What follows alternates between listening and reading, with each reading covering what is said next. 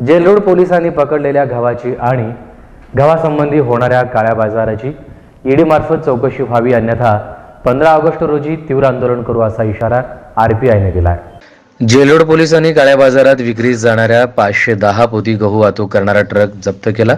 त्या कामाची आणि त्याकडे दुर्लक्ष करणाऱ्या अन्नधान्य वितरण अधिकारी झोन पुरवठा अधिकारी रेशन दुकान मालक यांच्या बेकायदेशीर कामाची आणि मालमत्तेची काळा पैसा प्रतिबंध कारवाई अंतर्गत सक्त वसुली संचालनालयाने ईडी खात्यामार्फत चौकशी व्हावी अन्यथा पंधरा ऑगस्ट भारत स्वतंत्र दिनी जिल्हाधिकारी यांच्या कार्यालयासमोर एक दिवशी उपोषण करण्यात येणार असा इशारा आरपीआयच्या वतीने जिल्हाधिकारी मिलिंद शंभरकर यांना लेखित निवेदन देऊन चर्चा करण्यात आली. जेल रोड पोलीस स्टेशनच्या वतीने अवैध काळा व्यवसाय करणाऱ्या गव्हाची गाडी पकडली असून त्या संदर्भात मागील पाच दिवसांपासून कोणताही गुन्हा दाखल केला नाही. याची सखोल चौकशी करून काळा बाजार जाणारा गोरगरिबांच्या हक्काचा गहू त्यांना परत मिळवून द्यावा आणि काळा बाजार करणाऱ्यांमार्फत चौकशी करून कारवाई करावी अन्यथा पंधरा ऑगस्ट स्वातंत्र्य दिनी एक दिवशी उपोषण करण्याचा इशारा आरपीआयचे शहर अध्यक्ष उमेश मस्के यांनी दिला आहे चार आठ दोन हजार एकवीस रोजी जेलरोड पोलिसांनी काळा बाजार इथला गहू हे जप्त केलेलं आहे. आणि जप्त केल्यानंतर त्यांनी संबंधित पुरवठाधिकाऱ्याला पत्रव्यवहार केला की हे गहू रेशनचं आहे का कुठलं आहे?